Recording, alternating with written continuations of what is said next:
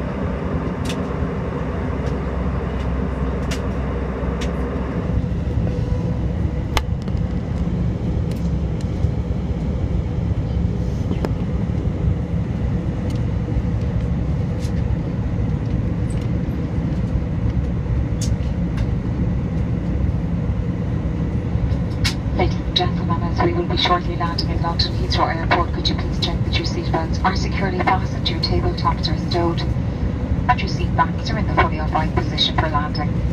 Please stow all portable electronic devices at this time. Please raise all window blinds for landing. Thank you for your cooperation.